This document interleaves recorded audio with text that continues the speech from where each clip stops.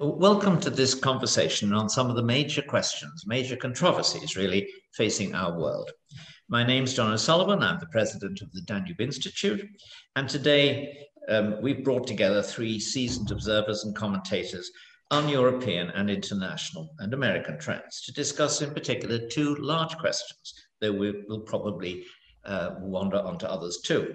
The first of those questions is what has been the impact of the coronavirus pandemic on politics, economic, uh, economics, and perhaps even the texture uh, of modern life and consciousness? Are we moving into a different kind of world in ways most of us haven't foreseen uh, than the world we've known really since modernity emerged? The second question is a more down to earth and familiar one. Um, how do all three of you view the situation in the United States following the defeat of Donald Trump and the election of Joe Biden as president?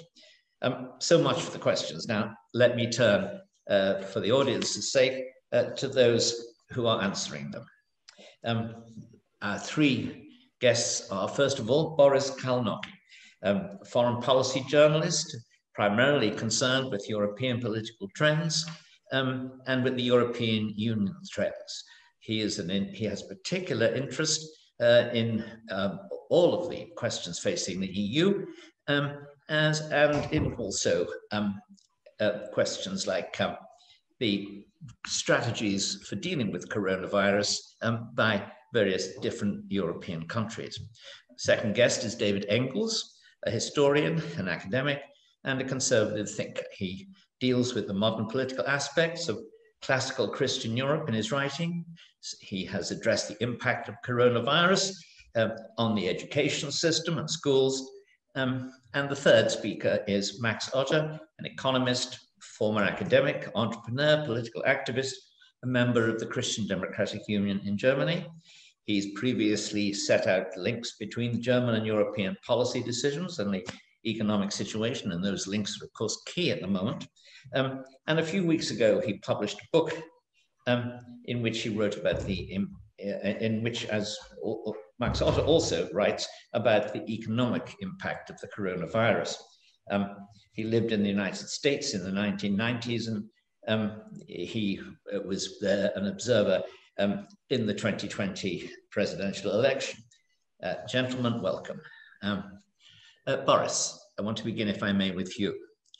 Uh, how do you see the coronavirus policy of the European Union and its member state uh, in international comparisons, both with each other and with how other countries, Europe, uh, particularly the United States, and particularly Britain in Europe, um, and what do you think the long term impact of the coronavirus will be on the state of the EU and uh, on European policy? it's obviously having a, a, big impact on Germany, isn't it? We see recent um, opinion polls suggesting that there's been a, a, strengthening of what until now has been very modest Euroscepticism. Uh, and indeed, the AFD is thinking of embracing uh, that policy, presumably called Dexit, um, since it would separate. It would be the only party actually uh, embracing that approach. Uh, it may not be an election winner, but it may be a, a, a, policy that would strengthen their representation? Yeah, well, thank you, John. And let's begin with the uh, with the EU. Um, EU leaders um, jumped on the occasion to turn this into a major moment for European solidarity, show that uh, no problem of any dimension can really be solved on a national level.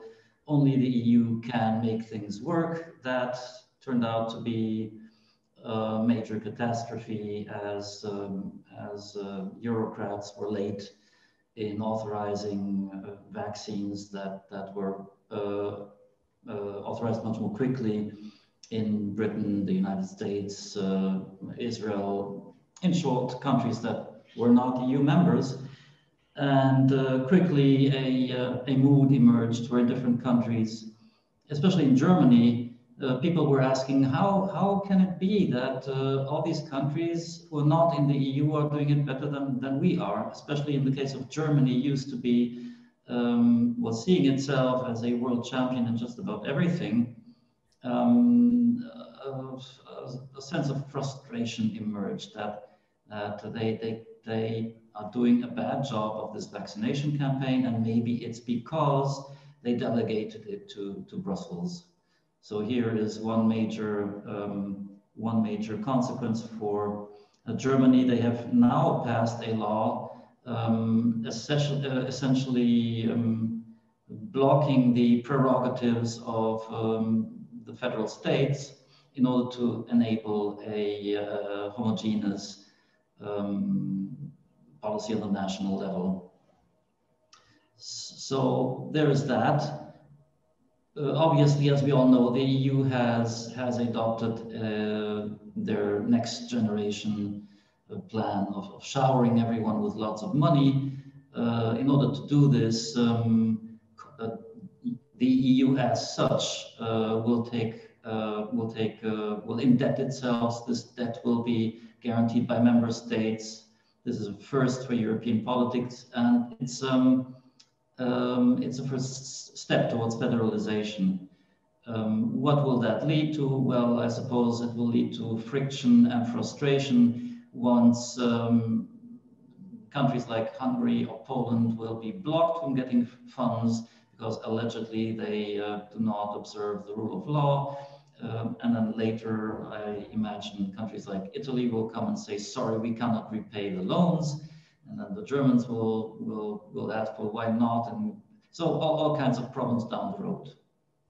Hasn't it had a bad impact too on the relations between France and Germany? Because in some ways, at the beginning of the um, pandemic, or rather, the beginning of the attempts to solve it with vaccination policies, the French and the Germans seem more or less allied together.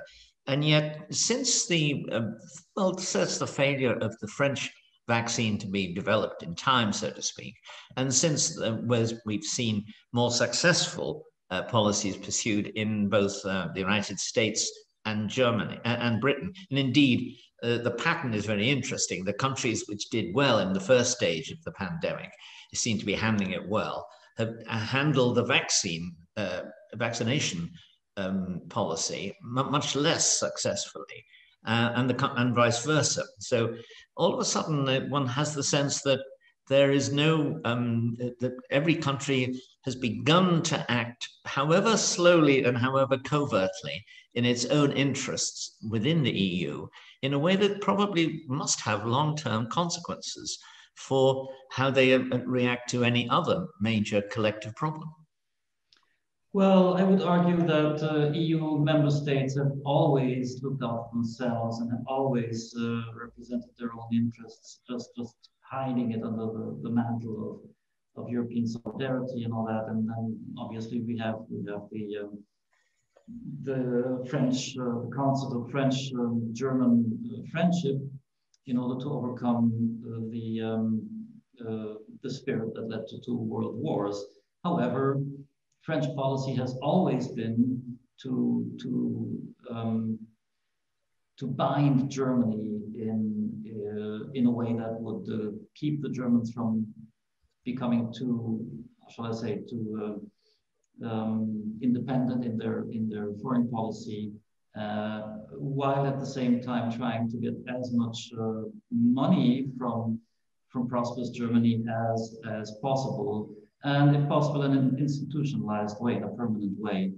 Um, Germany uh, has not made strategic decisions, uh, but it, it, does have the option to, to look towards the east, where we have the Visegrad bloc. Um, they share the same um, economic philosophies as, as historically the Germans. They like um, they like to not spend too much money.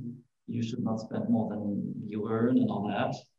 Um, and I, I sense uh, a hesitation in, in, Germany on, on how to go forward. Shall we, shall we try and, and use these Eastern European, Eastern Central European countries as a counterweight to France? Um, and um, a lot of strife between France and uh, Central Europeans is maybe down to that. Uh, the latest news, I think, is that the uh, the um, Germany has just uh, been trying to get a, the the vaccine from Russia um, and um, ordering it. Um, one of the commentators on this, I think Wolfgang Münchau, said uh, this was a demonstration of the fact that the um, German Russian relationship is now the single most strategically important relationship in Europe. Would you like to comment on both those things? Well, here's an interesting thought, John. If, if we go back in time, even to the 1920s, there was an Institute for geopolitics in, in, in Munich, um, which propagated the idea of a Eurasian Union. And obviously, this is something which led to bad consequences as the Nazis embraced that spirit uh, and perverted it, I must say. Um, but uh, there, there is a, a basic strategic thought in continental European political thinking that the, uh, the maritime uh, dominance of uh, the United States and Britain, uh, their dominance of a, of a sea trade um, might be counterbalanced by, by developing, uh, developing very close relationship with Russia and even China uh, over land. So here's a, a, strate a strategic thought that I think still lingers in Germany if we look at the the, the Nord Stream 2 project, which is um, in um, uh, not at all what the Americans think might be in their interest. So here we have a, an objective um, area of, uh, of conflict of interest, I think, between the United States and, and Germany and indeed continental Europe. Perhaps I could now turn uh, to David Engels. Um, a few weeks ago, you were saying in the Polish newspaper article um, that the coronavirus has had a very severe effect on the education system. Now, I think everyone would agree with that in a common sense way because the um, uh, we can see that education has been denied to for a year and maybe now longer to um, uh, to students, and um, they, frankly, most people don't seem to think that teaching through the uh, internet is is as effective. Maybe you differ on that. But what do you um, what do you mean, apart from that common sense point, about the impact of coronavirus on the on the system, the education system?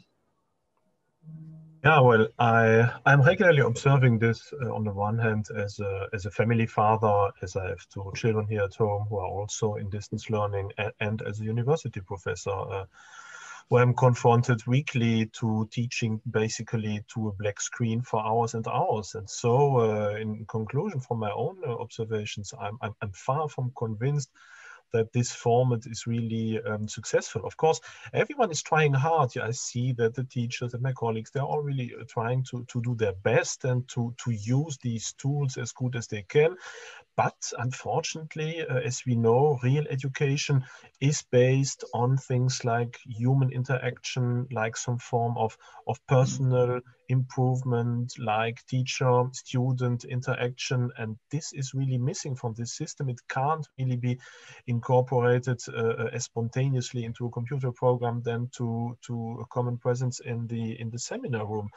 And if you add to that the, the really severe uh, effects also that this lockdown is, is exercising on the psyche of young people who are really locked down, uh, closed in in their homes partly for one year nothing else to do than to, to keep to their own four walls. This is really uh, the, the uh, best uh, situation to, to, to have a lost generation as a bit the, the, the generation of the First World War.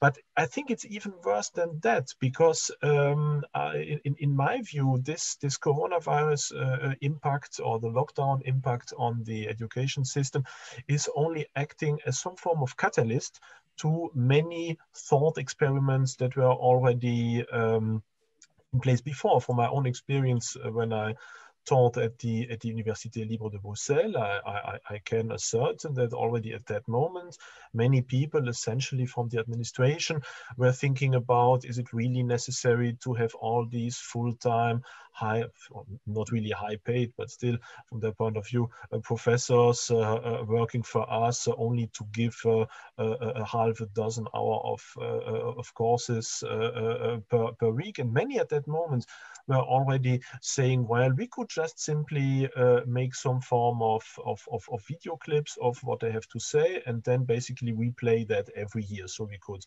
uh, cut costs or just transform these seminars into some form of interactive uh, digital tools. That was already discussed before the COVID crisis, and I really strongly fear that now with the, the this experiment uh, uh, taking for for one year that many people will say okay well now we tried it all the uh, all the psychological barriers are, are broken uh, we have the tools so let's impose that on a, a, large scale.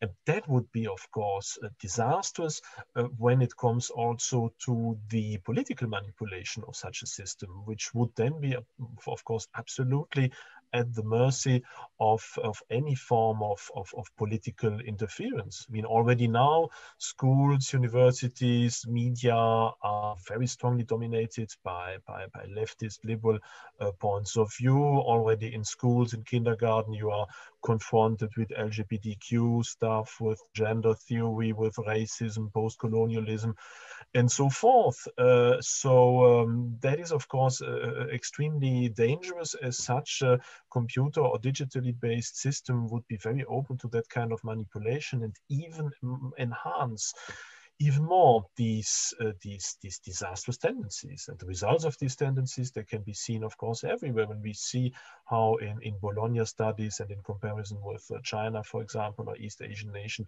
where we see the, the, the, rapid decline of, of the Western world when it comes to, to, to, to general education, to some form of frustration tolerance, to competences and so forth. So I, I think that this COVID crisis and the lockdown and the distance learning will accelerate this evolution and lead potentially to, to a long-term disaster. Um, obviously, we can see in China which, which has, of course, other methods of social control at its disposal, um, that this is uh, uh, the internet and, and this, this kind of technical um, future can have seriously worrying um, uh, tendencies towards oppression. Um, but what about in the West? Because I'm thinking of the impact on the student's personality. That does do they rebel against this? I mean, there is some evidence in the United States that a lot of the students desperately keen to get out of lockdown, desperately keen to have some kind of fiesta in one sense.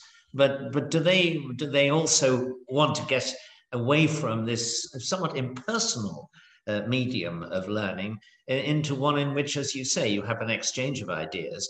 And um, and and then final point, um, students may not always tell the truth. Um, I mean, then a lot of the time in universities now, they feel they're um, being in, in, indoctrinated rather than participating in, in education. And um, in those circumstances, I mean, um, do we think this is going to be, I mean, is this a more effective means of control uh, or a less effective means of control? Maybe you can ignore a computer screen more easily or turn turn the sound down um, than you can um, ignore a, a, flesh and blood human being in front of you. Hmm.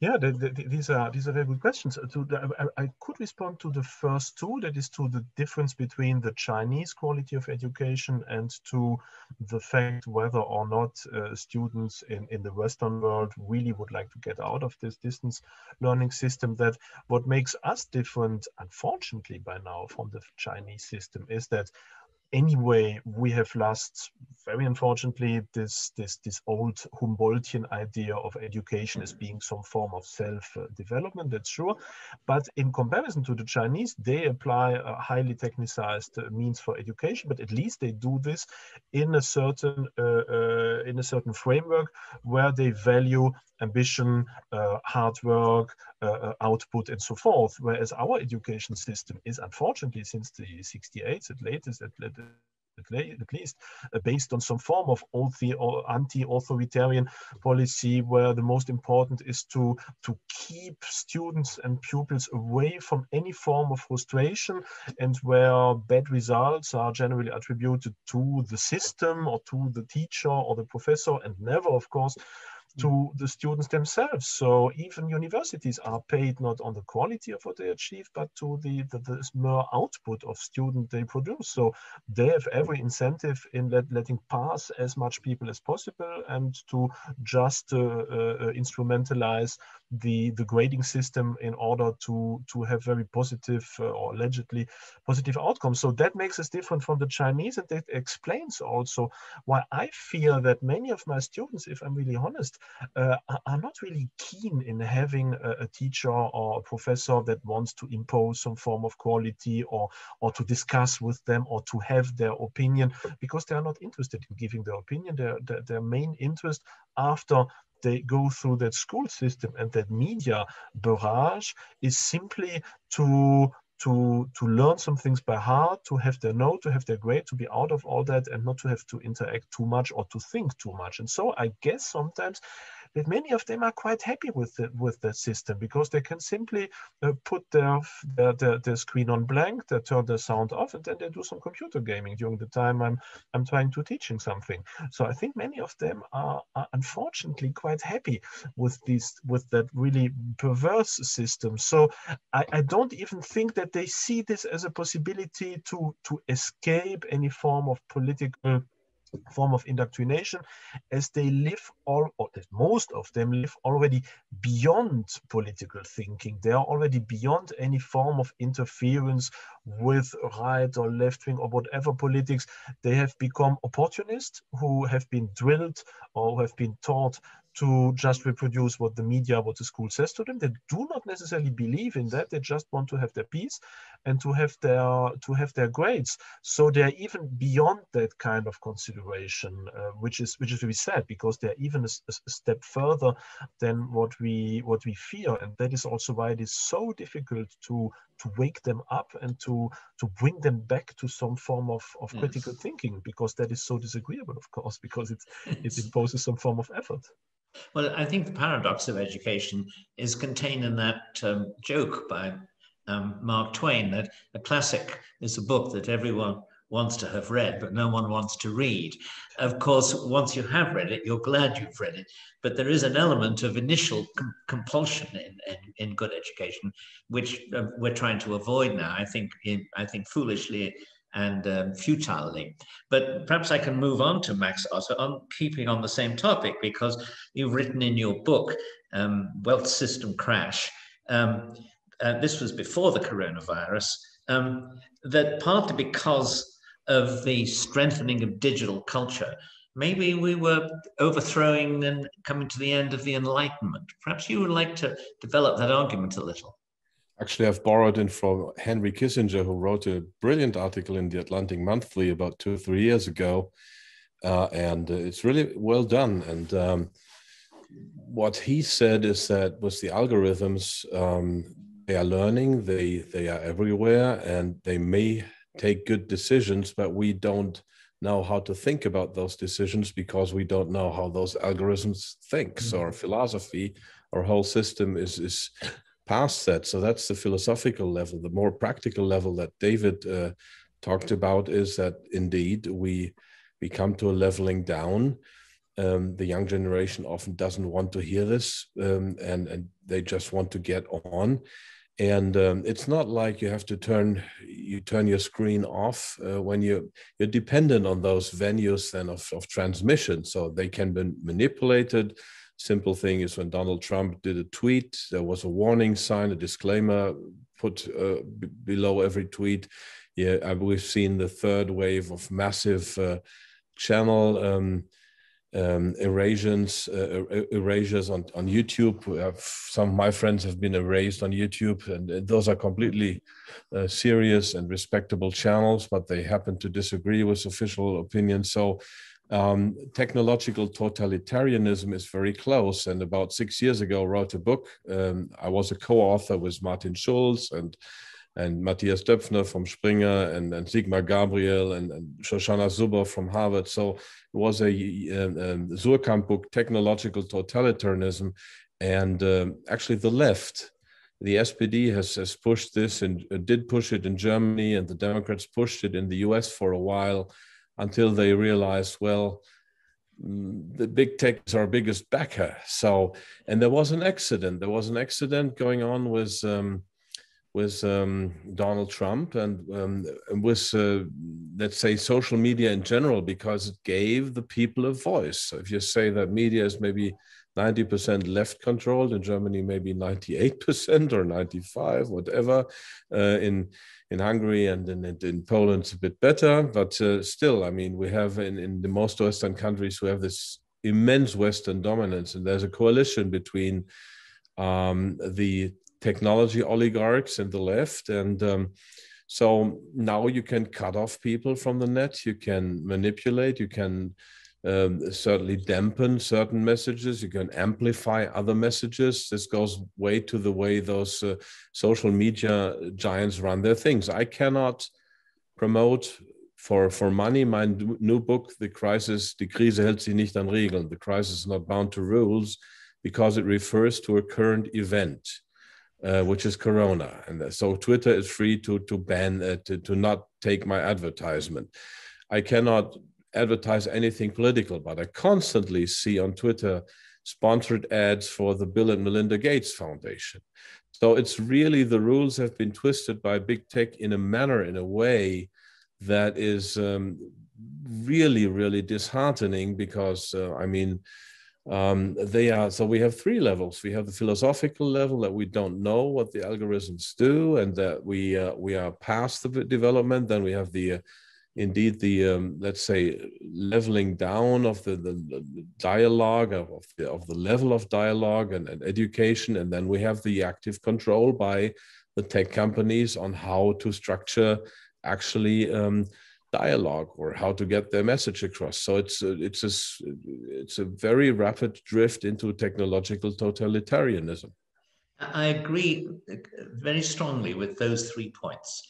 But let me raise uh, not an optimistic point, but an optimistic question. Um, if we were Luddites in the 19th century, uh, we would have said somewhat similar things about the spinning jenny and other machines.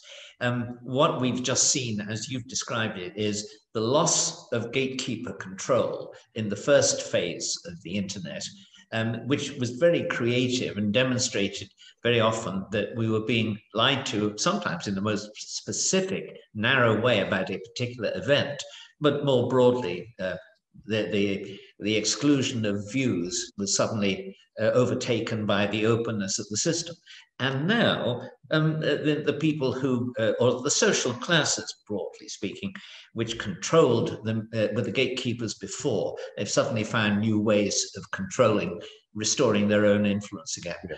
Um, is that not an unstable situation, however? Are we not likely to see uh, a, a, the, a reaction to that, which, including a moral reaction, which you, of course, have just given voice to, um, which will restore some kind of genuine argument and debate? Um, there is, of course, uh, let's say, retreats and enclaves like uh, Think Spot by Jordan Peterson or whatever. So we, have some free spots. But uh, to quote Davidson, my favorite philosopher, um, man only is appalled by threats uh, and is very quickly uh, gets used to the, the facts.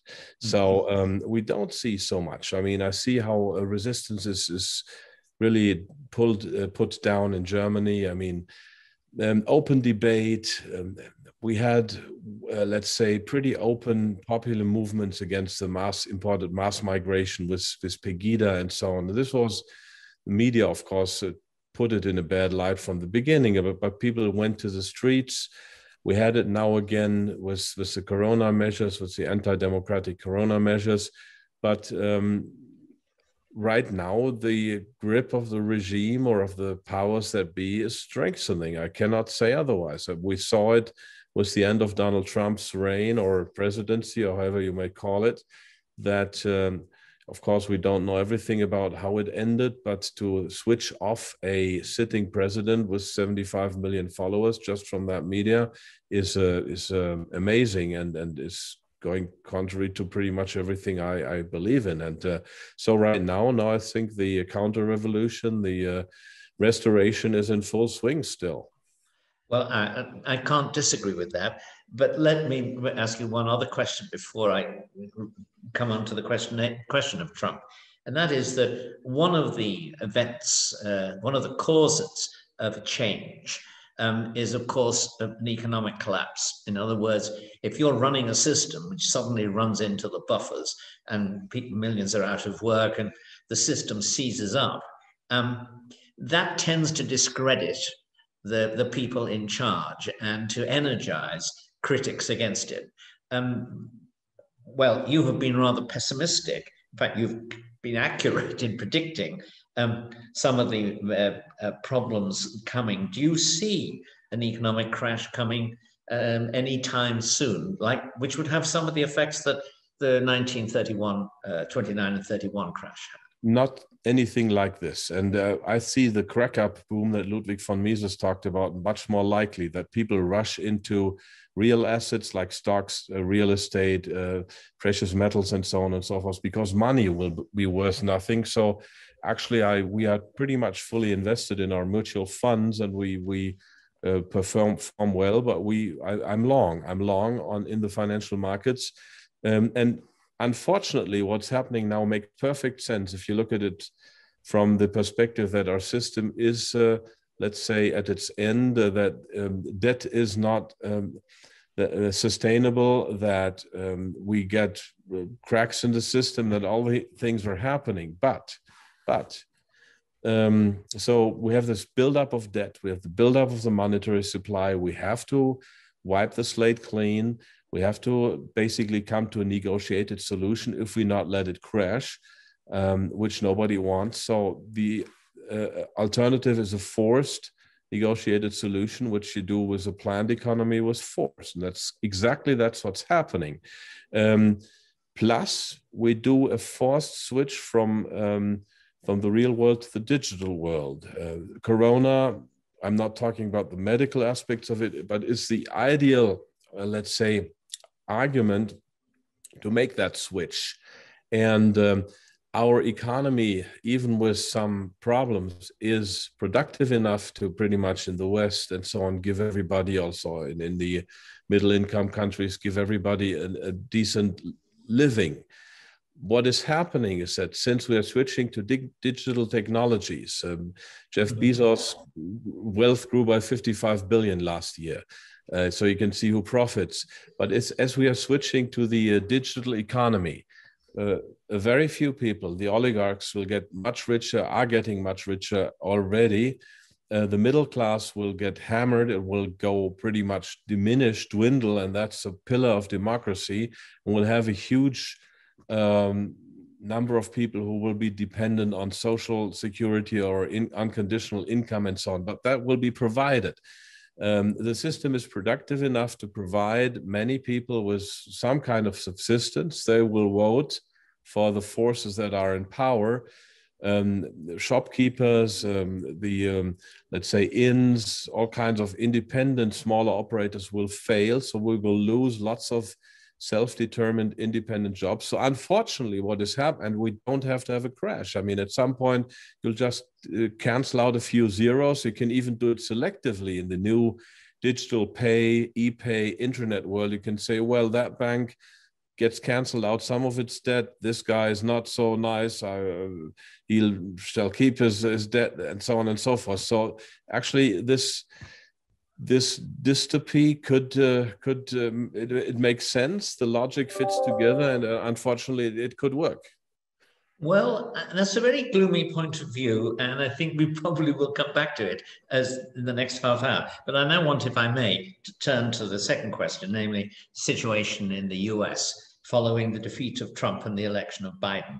As it happens i've just spent several weeks in america. I visited uh, new york washington palm beach um, uh, Fort Worth, Texas, and uh, the prosperous North Alabama towns of Birmingham and uh, Huntsville. Huntsville is not very well known in the world, but in fact is the center of a lot of the communications, defense, military, and other industries in it the United the States. Space, space uh, Program Center, Wernher von Braun. NASA is there, the Redstone Arsenal is there, that's right.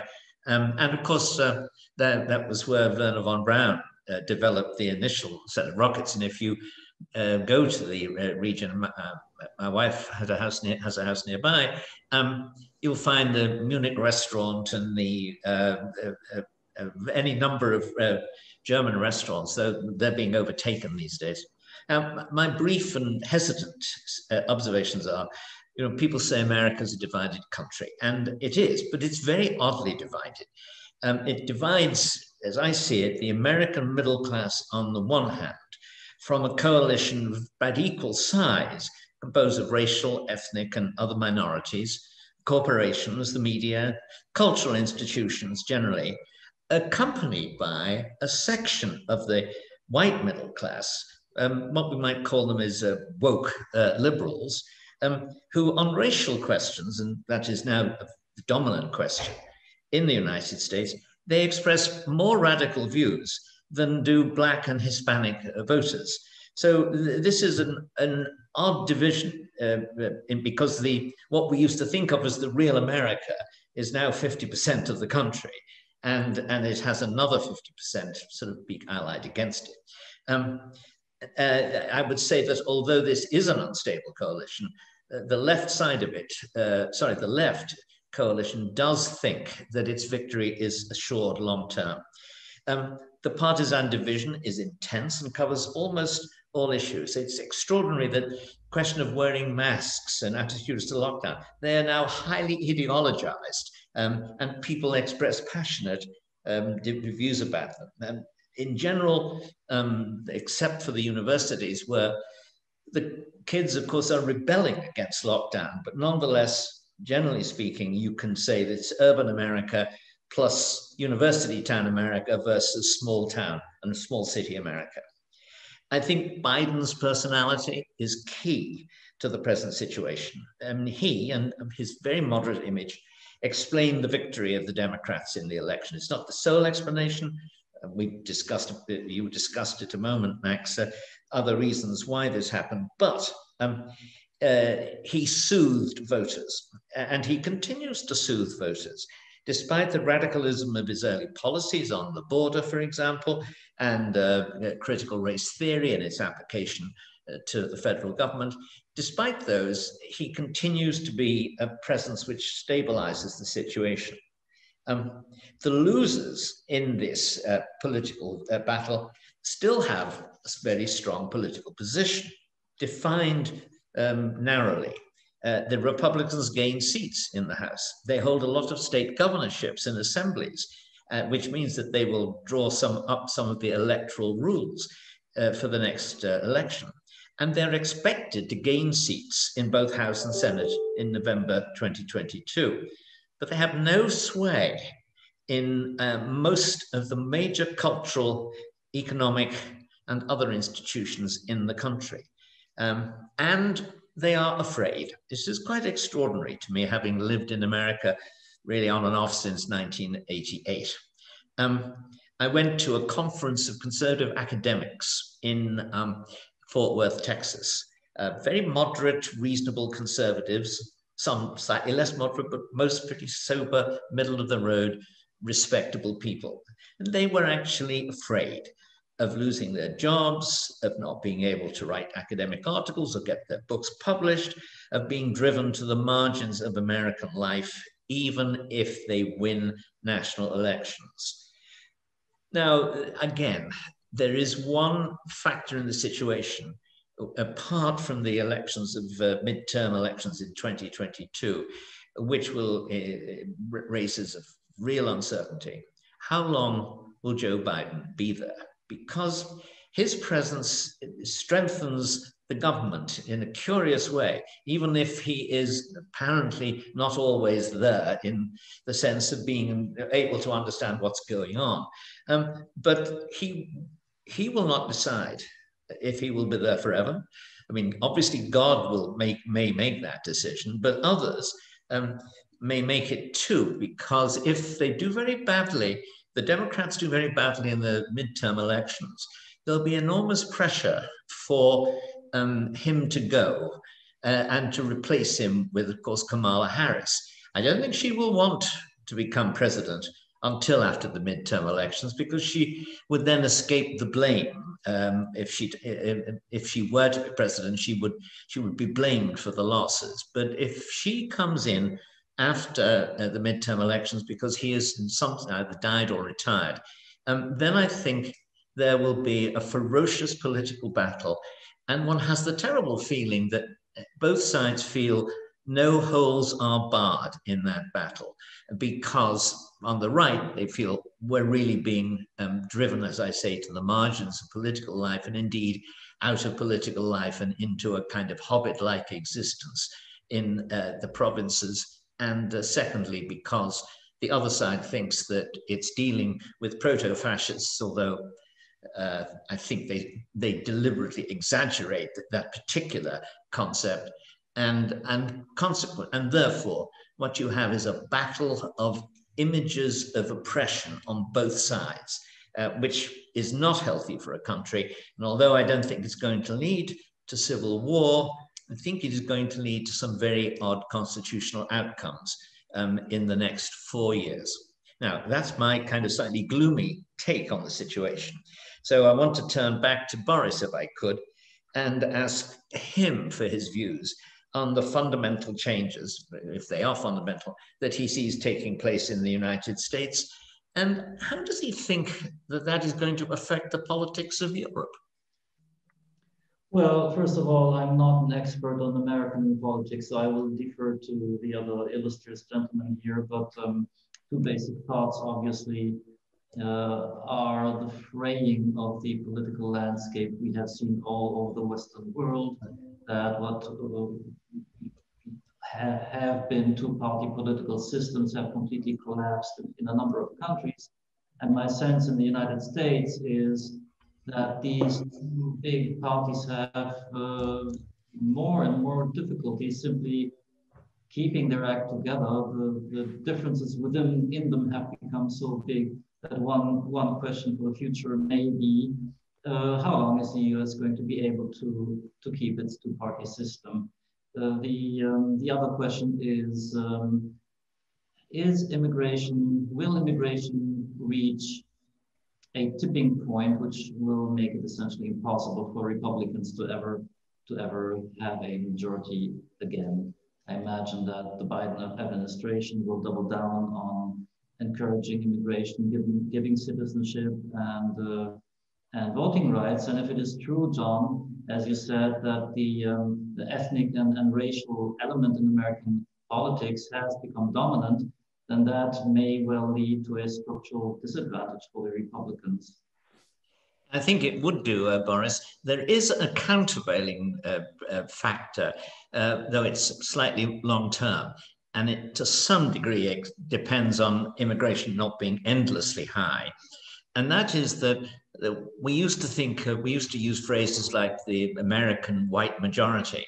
Well, the American majority still exists, um, but it's not white anymore. I mean, if there is an intermarriage uh, between, let us say, um, Hispanic and the white, and uh, white and Asian, and white and black, um, the likelihood is in most of those marriages that the children born to them um, will identify with the majority. Now, it won't be a white majority, but it will be an American majority with a with a sense of attachment to the symbols and institutions of the United States. So that is something that you know the the, the concept of the emerging democratic majority is, has not yet come to terms with. But on the other hand, one has to say that it um, it, can be swamped by uh, continuing to in, to bring in or allow to come in um, more and more numbers of people who don't feel any of the sympathies to, for American institutions and the American identity that people who are who um, who are members of that uh, that non-white white majority uh, feel. I mean, um, that's something to bear in mind, is it or not? Is well, obviously, it's um, the cultural dimension is is key here. Can the Republicans offer a narrative to um, to immigrants, to people who come from another ethnic or racial background? Can they make, make them feel welcome, make them feel that uh, they are part of the family? That that will certainly be key to for the future of the United States. As for the um, the impact on European politics, well, I see a continuation rather than a change um, with regards to um, the, the change of presidency. Obviously, the return to multi multilateralism is a key change between uh, Biden and the previous administration. But on the other hand, there are key objective interests that are simply the United States interests. We have we're witnessing a change from the um, Atlantic cooperation uh, born from the consequences of World War II. We're seeing a European Union becoming more assertive, trying to deal with Russia and, and China to some degree, and, um, and an, an, American strategy fully realizing that um, China is a systemic competitor on a global scale, and that Russia, although it does not have that heft uh, economically speaking, of China, and maybe not that, that skill either. Um, but that Russia's disruptive politics towards um, the Western world need dealing with. And here I see confrontation uh, coming between European interests and American interests. That surprised uh, the uh, Biden White House, I think, hasn't it? The Biden State Department that they they were expecting, I think, a warmer relationship with the Europeans and the EU uh, on relations with China. In particular, um, they were expecting to be able to form a common front, and and that is uh, and that is not happening. And it's well, it's, it's puzzled uh, the to some degree, um, but it's a permanent fact of life, isn't it? And and, um, and yet at the same time, doesn't it increase the vulnerability of both Europe and America in relations with um, a well, I was going to say a resurgent Russia, but a still powerful and dangerous Russia um, and, um, and a rising China?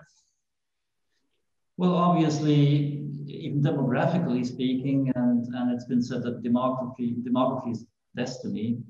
Um, the United States is, is not uh, suffering from these kind of problems, but Europe certainly, its share of world population and its share of world trade is steadily decreasing. So when I referred earlier to a tradition in European strategic political thought that it, it, it, would be um, uh, it would be good to have some kind of Euro-Asian cooperation um, make full use of the of the possibilities of this huge landmass um, reaching from the Channel all, all the way to the uh, Pacific, from the North Sea to the Pacific.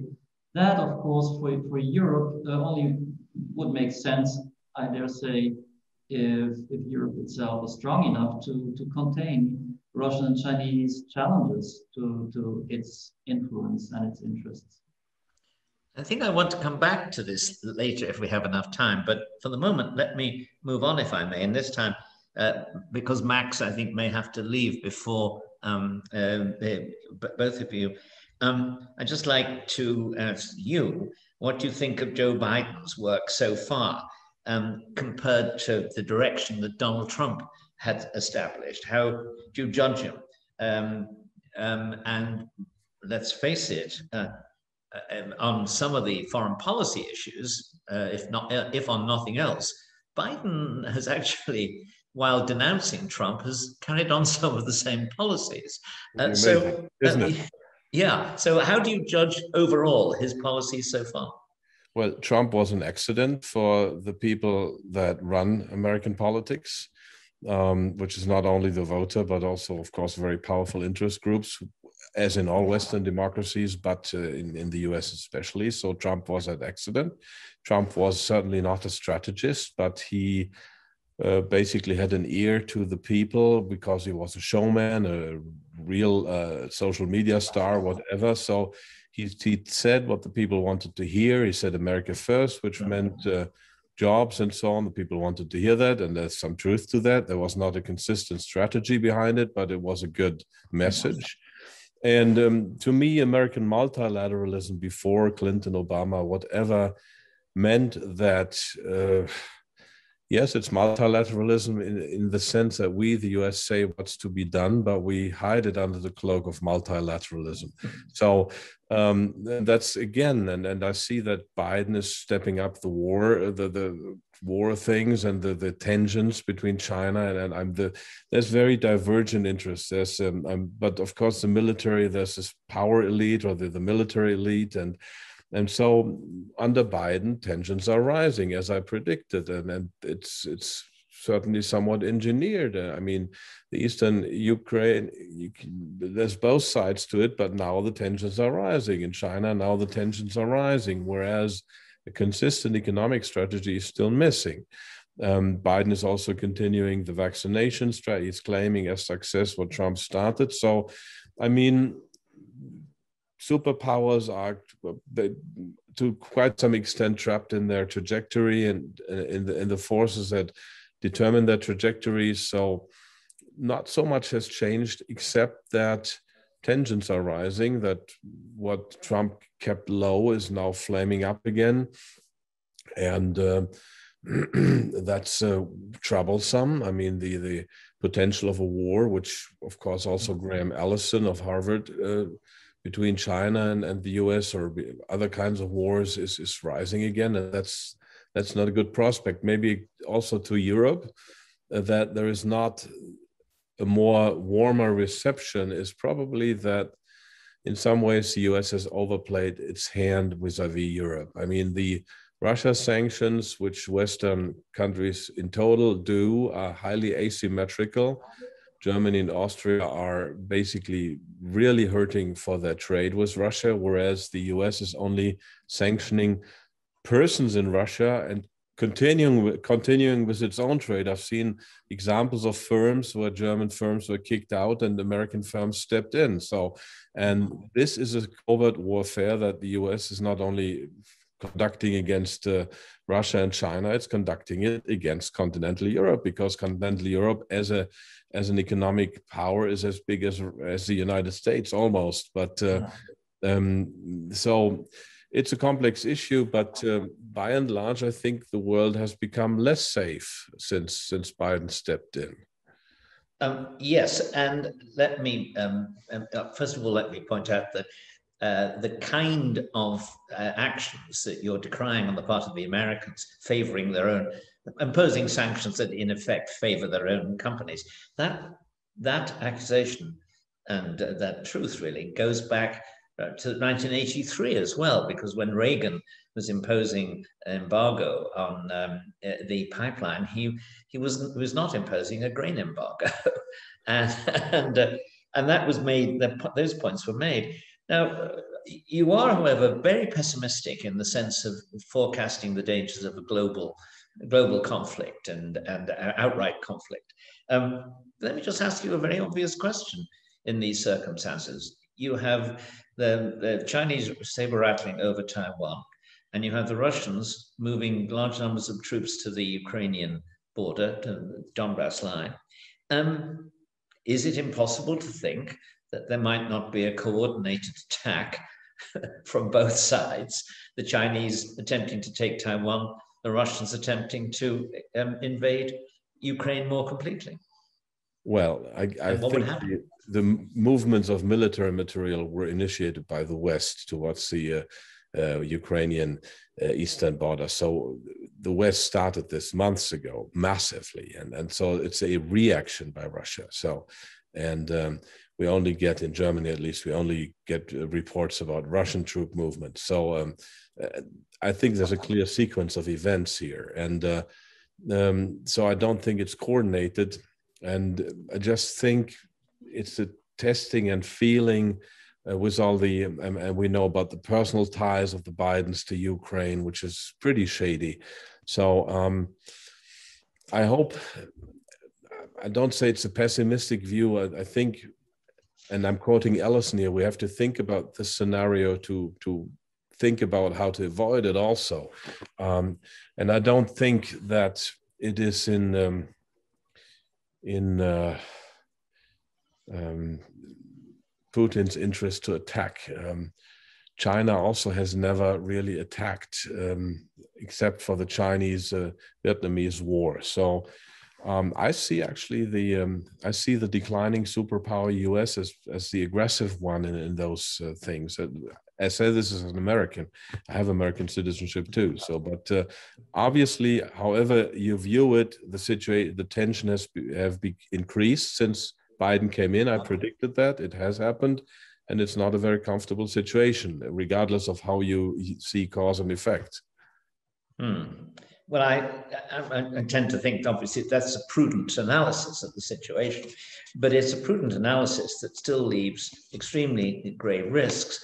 And I wonder where, uh, what, what is going to be the relationship between, on the one hand, um, um, uh, Brussels and the European Union um, and the United States in the event that conflict does break out in a curious way. At the moment, they both they both talk the same game in relation to um, to um, uh, uh, Ukraine uh, and resistance to Russia. But at the same time, how solid is NATO? I mean, this is the question that that allegedly Donald Trump raised, but in fact, it's always there. And um, do we see NATO being uh, um, under these pressures, and do we see it sustaining itself, or do we see it gradually ceasing to be a genuine military alliance and becoming a talking shop? Well, I was in in the, in the U.S. in June 2001. Was a German delegation talking to incoming Bush uh, administration, and this was a three-day conference, and Bush had, was having problems uh, with staffing his administration, so the undersecretary level was still pretty understaffed. And in every conference, uh, the question was, "What's the new threat?" What will hold NATO together? So people kept speculating about terrorism in North Africa. You can can actually conjure threats if you talk about them often enough, and NATO is still, um, uh, I think, if you look at the way the treaty is structured, is still able to, let's say, declare a defense case, and then you have you have actually martial. Um, martial uh, conditions or whatever and then you may have uh, actually action and then then you are in war or in, in the pre stages of war and then it's very easy to let's say engage poland and germany in, in those. France will play to some extent its own role i think but uh, the dangers that the flight to, to, to, the flight ahead into a conflict uh, that that gamble is actually um, one that myself as a US policymaker would make. Um, and it's not a very pleasant one, but it's uh, maybe worth taking the risk if I tick like some of the neocons. And it's not an it's not a uh, comfortable thought. Not not a comfortable thought for Europeans in particular. And for my country also not. Yes, no, no, no, it's not a comfortable thought for anyone. But but on the other hand, one can possibly say that the clearer and more committed members of NATO are to each other and to um, maintaining a solid uh, front on almost all the serious political issues, the less danger they are to be provoked um, by the Russians or by any other power too. David, uh, could I turn to you? And go, I want to go back to American politics here. Um, uh, you have been very pessimistic in the past about the, the possibility, uh, possibilities and opportunities um, for conservatism in Europe. And um, I wonder if you think that this they are much less appealing now in the light of what's happened in the Trump uh, in the United States to Trump. Um, and, um, it, and and do we do we see a conservatism beginning to revive in Europe? If so, in which countries? And um, and which side also of the English Channel?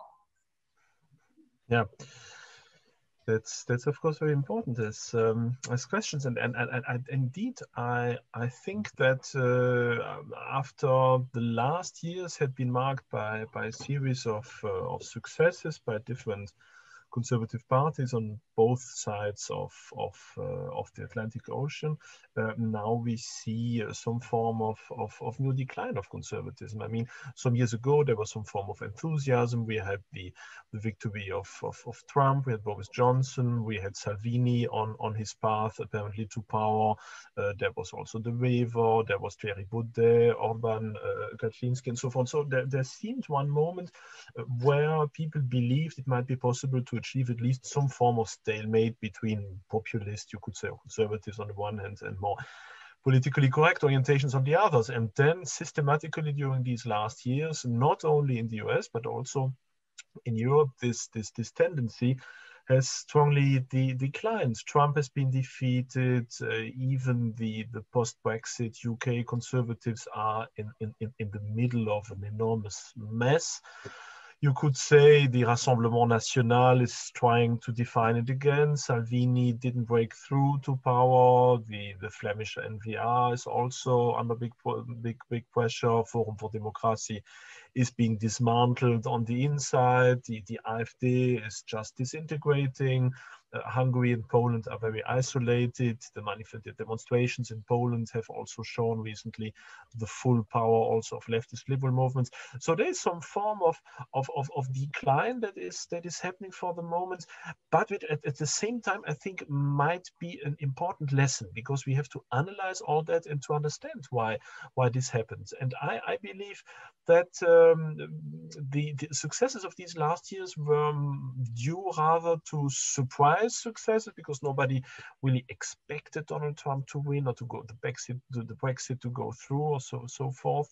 Uh, but but now you could say the empire is counter-attacking and and and, and suddenly we see a whole range of uh, uh, of uh, conceptual uh, problems of modern day conservatism. And one of these problems is certainly that conservatism has underestimated the, the, the full strength and commitment of the leftist liberal political consensus, who simply doesn't want to integrate a new element and rather prefers to play within its own zone of quarantine. I think that is that is very important. Another point is, of course, that populism or conservatism in, in the West is not ideologically well defined we have secular and neoliberal movements, we have more religious conservative movements, we have such movements who are oriented towards the US, towards uh, Russia.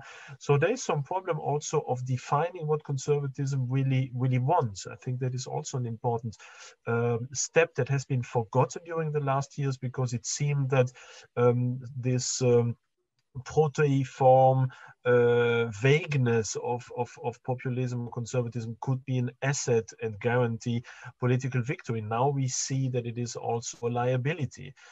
But of course, I think one of the of the biggest uh, problems uh, is that we have seen that conservatism, even populism, even when it is in power, is just or that it just is is is able to stabilize existing conditions, but not really to push forth a real systemic change. The Trump presidency has shown that very strongly, partly also other conservative movements where we have seen, okay, these years are not lost, uh, they, but they, they, they have frozen uh, uh, an evolution for a period of years, but they have not rolled it back.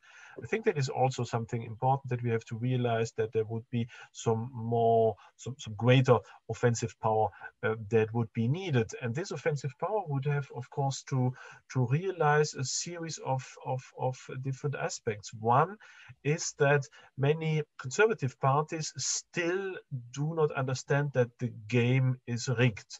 They still think that their institutions, their elections, their separation of power. And if we play within democratic uh, frameworks, then there might be a real chance to get to power. But of course, the events of the last years have really shown that this, this, this separation of, of powers is in fact abolished by the fact that everywhere people are convinced by this politically correct uh, um, mainstream thought uh, and that in fact it is very difficult, if not impossible, to to break that. Many populists seem to me to be uh, some form of last Democrats because they still believe in some form of democratic ideal that in reality has already disappeared. Another important point, I think, that has also been illustrated by the defeat of Donald, Donald Trump and what is happening now also in Europe is, of course, the, the, the immense power of media. Many conservatives may have believed that once in power, the media would partly shift their attention and try to line with them, but the contrary has has happened. And many conservatives has have simply forgotten the uh, the important axiom of politics that Nancy Pelosi, is still in November of 2020, quoted when she quoted uh, Abraham Lincoln, who said, "Public sentiment is everything. With it, with it, you can accomplish almost anything. Without it, practically nothing." And that is something that has been that has been largely forgotten. Conservatives have uh, have forgotten to build up their own parallel media system, their own parallel education system. They, they hoped that somehow, once in power here and there, uh, by pure sheer opportunism, these systems would shift sides. That hasn't happened.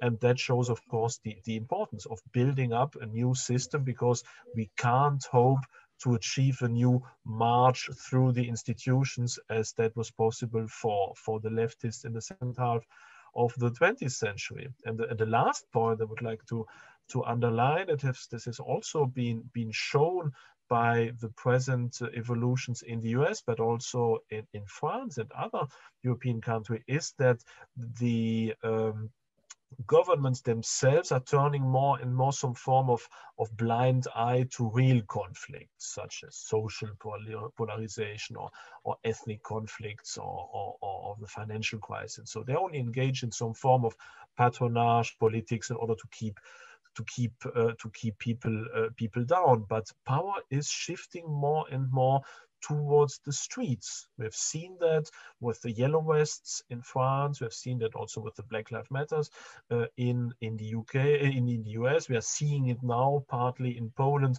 with the Strajk Kobiet. And I think that that is something that conservatives need to realize that they also have to, to play on that field and to muster also massive support on the street uh, to have at least a punctual possibility of, of acting on, uh, on the media, on public perception of politics, and to show their power, to show also their possibility to be an ordering force, to impose also some form of social and, and, and, and uh, cultural values, to form a, a parallel society as all these immigrant societies, essentially, of course, Muslims and populations here in, in Europe are doing it. They are forming uh, parallel societies that function within their own framework. And many conservatives, I think, should take an example of that and building up something parallel that would be a firmer basis then for, again, the conquest of public opinion and ultimately, of course, uh, political power. Um, let me say that at the conference I was mentioning of the Philadelphia Society in uh, Fort Worth, Texas, that I attended, um, that this point, your final point there, was made repeatedly that we are now going, we have to enter a period in which we painfully construct a series of alternative institutions. To some degree, of course, the conservatives did that in the 60s and 70s between uh, the defeat of Goldwater and the election of Ronald Reagan. But this, it seems to me, is had to be done in a much more uh, fundamental way. Uh, um, no one in the 1960s or 70s suggested abandoning the public schools. People now will say that you cannot actually get expect to get an honest, good, and virtuous education in the American public schools. They're now they're now the agencies of indoctrination. So I, I, think that lesson has been well learned, but of course, it's a painful lesson that implies a long, long struggle, rather like the decision to grow an orchard. You, you probably will never live to see the fruition of your hopes. But on two other points I want to raise with you, um, I agree entirely that public opinion um, is, in a sense, all. And that's, as, as the quotation um, from Lincoln that Pelosi cited makes clear that's been a, a, something we've known since the 19th century. I mean, you can see in the debates on democracy that that opinion, that public opinion was the key uh, element in yielding to the uh, democratic pressure. That that's been a truth which conservatives have, have, have not learned sufficiently um, it also explains your other point that um, the, the, the, the, the, the, the, disutility, the unutility of the separation of powers, uh, because that works well when the institutions are acting in response to institutional uh, values and objectives. But when the institutions become the expressions of the interests of a particular class, and that's what Robert Bork said the American courts increasingly were, then you have a much deeper problem.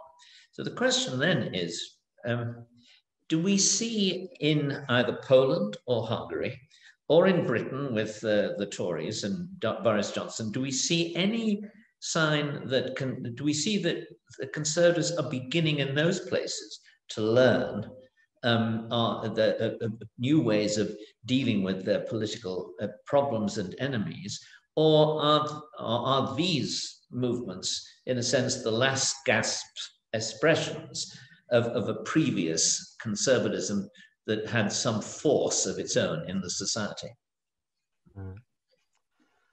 It's a very difficult question, of course. I would say bo both answers are true. There are, are both currents, I would say, within uh, modern Polish or, or, Hungarian conservatism. There are, of course, people who, who really understand the, the, the what is at stake for, for, for, for the future, who try to, to, to model the institutions in order to become more resilient and to become less permeable to the uh, control of uh, leftist liberal uh, thought and, and, and elites and, and clientelism. There is, of course, also the other approach that still sees the world through the, the lens of the 1980s and doesn't really uh, realize um, uh, everything that has happened uh, in between. I see that very often here in Poland, unfortunately, even when I speak to, to, to, to people around me in my professional environment, even also in, in, in politics, many people do not yet realize how far things have gone in Western Europe,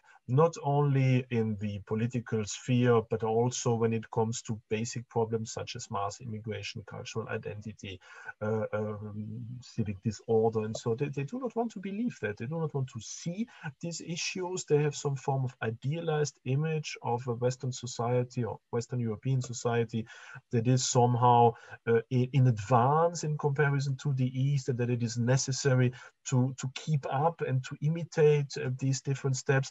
And I think that that is, of course, deeply anchored in the experience of the of the Cold War, in what Kundera has called the kidnapped West. This impression that you need again to be form part of the West.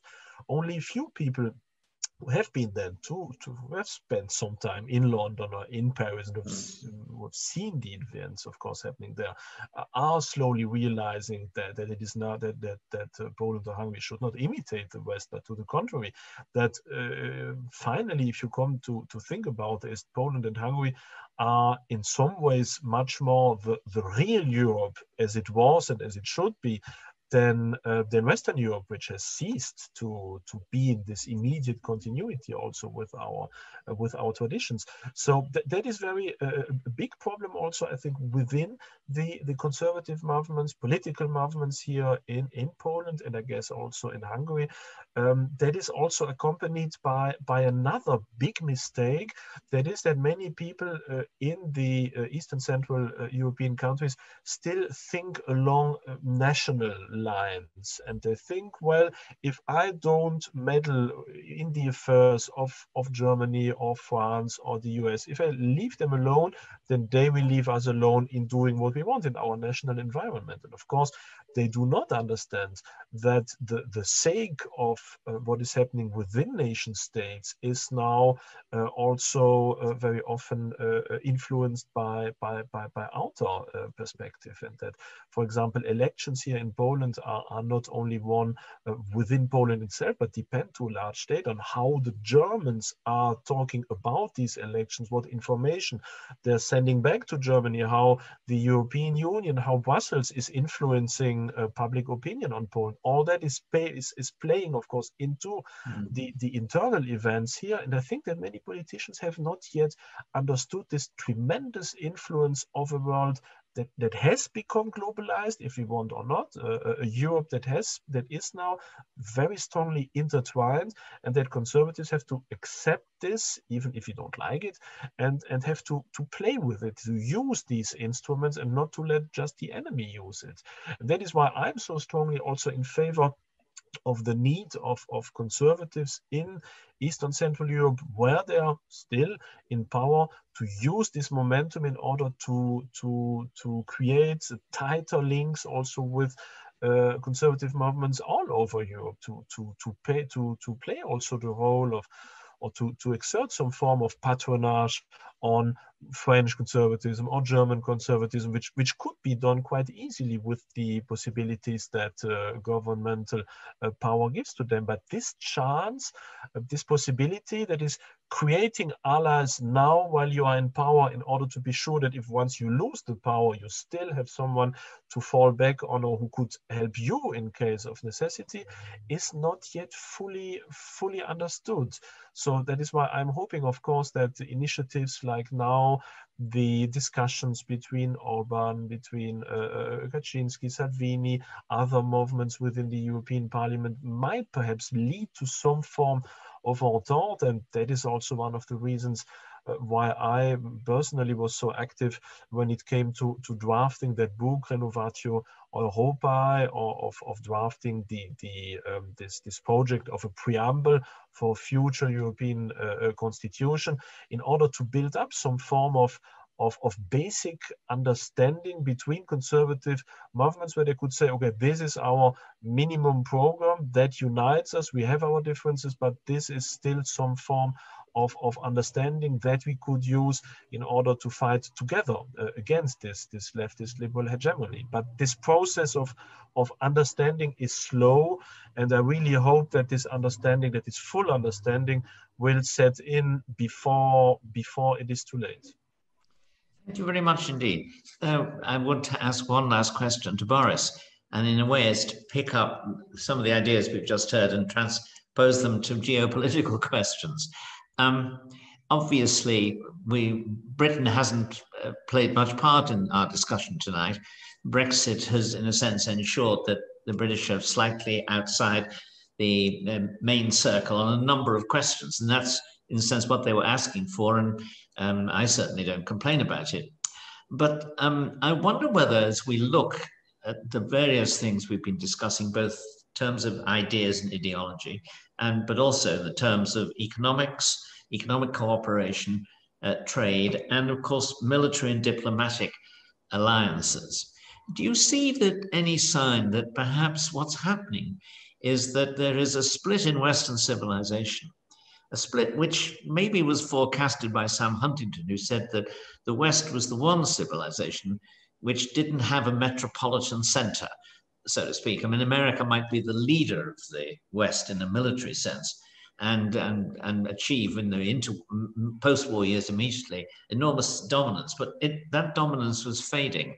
Um, I wonder if we can't see as a possibility that the Anglo-American world along with uh, other people who, in a sense, um, separate, are marginal to Europe, might not form, in a sense, begin to form a different civilization um, from continental Europe in the same way that the uh, Christendom was divided between Catholics and Protestants.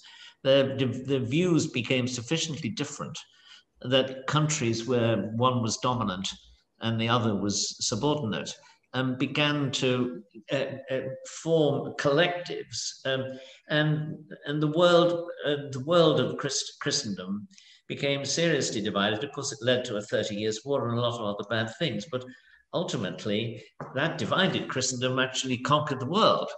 Um, those days are past, but do, we, do you see um, a, a, division of Western civilization today um, in anything like that way?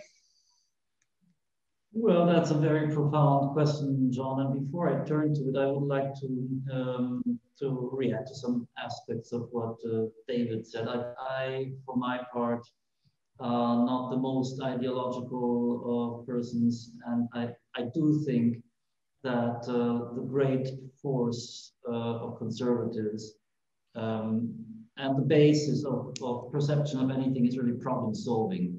So uh, why did we have a, a low point uh, on the left liberal side for a number of years now? Because they had ceased to be able to solve the problems in their societies. They had even lost the um, capability of expressing, of formulating these problems. The vocabulary was lacking to even to even say what was going on. And uh, the great um, advantage of conservatives in this time, uh, especially in Hungary and Poland, obviously was was to come on, come on and, and, and take up issues, pick up on issues which matter to people and which were neglected by, by liberals. So one issue was the euro, which was the initial topic for AfD in Germany. Another is uh, immigration, obviously, um, cultural cohesion. All these uh, issues are important to people on the ground. And they define uh, what people will support. Now, some of these things have been co-opted by liberals nowadays. Macron has has essentially declared war on radical Islam. This is a conservative uh, uh, topic.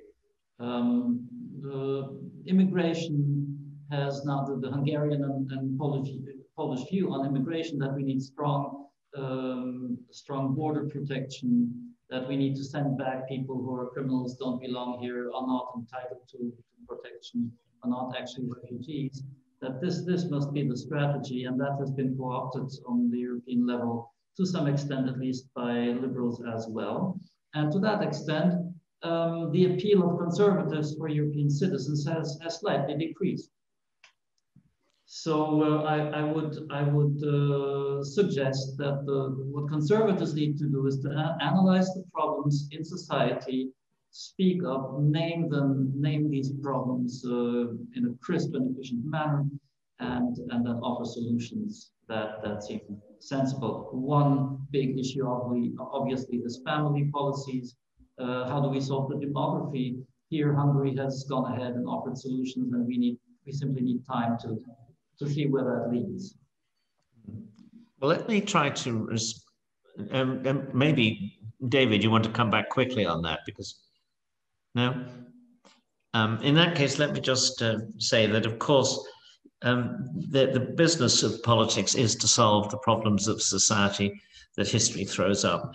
And um, the reason for the Thatcherite Reaganite uh, ascendancy, relatively brief though it was, um, nonetheless, it, was, it existed because practical politicians Mrs. Thatcher was above all a practical politician, actually set about trying to solve the problems of inflation, excessive union, trade union power, uh, the Soviet aggression in the Cold War, and, and, made a good fist of actually solving those problems. Um, and I think, Boris, you're um, completely right to say that unless politicians, conservative politicians among others, offer realistic solutions to problems, they won't get a hearing or they get a very brief one. The second thing, however, is that every now and then an improbable change occurs, and sometimes in politics, changing the strength of one party and, improving the strength of another. And sometimes that's the result of events in the world, um, a, a, crash, um, um, a war, um, a defeat in war. But sometimes it's the result of a political genius who sees in the existing structures of politics uh, opportunities that practically no one else had seen. I think, for example, of Benjamin Disraeli in the 19th century, who saw the issue of imperialism. The British had had an empire, but they didn't have imperialism. It didn't play much part at all in British political life until he suddenly realized that imperialism was an issue on which the working class could be brought to support the conservatives. And amazingly enough, surprisingly enough, I would say that's what he did and established a conservative dominance that really has lasted more or less uh, all the time since then. So I think we never know what's going to happen in politics, is my final summing up. Same for me. It's been a privilege and a pleasure, John, to be here.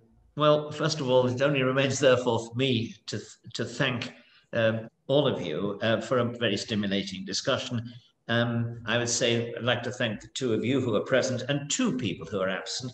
One, of course, um, is, is um, I'm sorry, Dr. Otte, and the other is the unseen organizer of this discussion, Shoma Hegedus, whom I'm very grateful indeed for putting it together and for um, bringing us all to debate these questions. I hope we'll be able to do so again soon. So, um, uh, David, many thanks. Boris, many Thank thanks. you very much. And Thank you very much for the kind invitation. Thank you. Thank you for your contribution.